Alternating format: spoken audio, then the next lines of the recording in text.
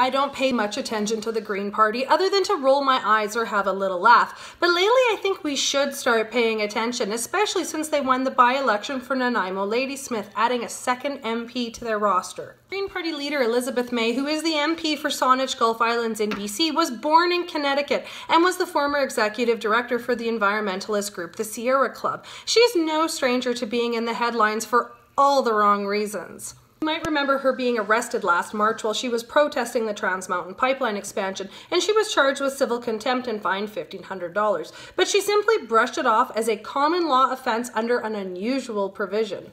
And there was her awkward speech at the Parliamentary Press Gallery dinner, which was really just a drunk tirade full of foul language and a shout out to convicted terrorist Omar Khadr. Watching Conservative MP Lisa Raitt trying to get May off the stage was truly cringeworthy.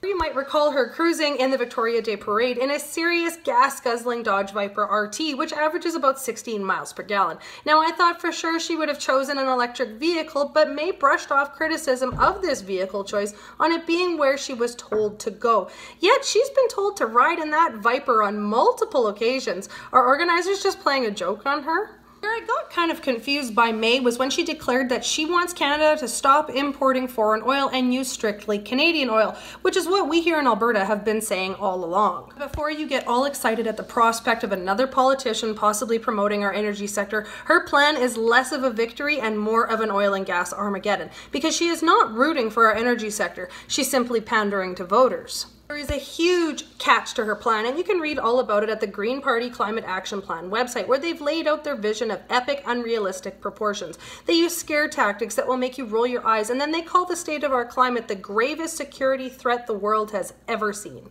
that didn't sound scary enough, I continued reading the Green Plan, and it's a nail biter. May is calling for Canada to have zero emissions by 2050. And how would they achieve that? With a total ban on fracking, pipelines, oil wells, and production, and removing all fossil fuel generation from our power grid by 2030. I'm starting to think that 2030 is the environmental activist's favorite number at this point. May wants all new cars to be electric and by 2040 to replace every single gas and diesel vehicle with electric cars as well.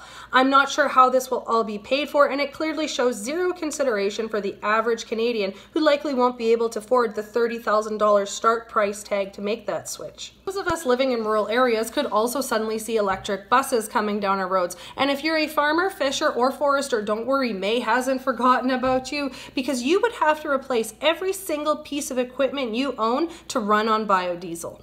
Some of you might also be wondering about jobs since May's plan includes eliminating all oil and gas work. Well, you can help turn every Canadian building carbon neutral by 2030 in May's national building effort. If May's Green Climate Action Plan didn't scare you yet, this next part just might have you hiding under the blankets. In the upcoming federal election, May would support a Green Party Liberal coalition, keeping Trudeau in power and allowing her to push her green agenda.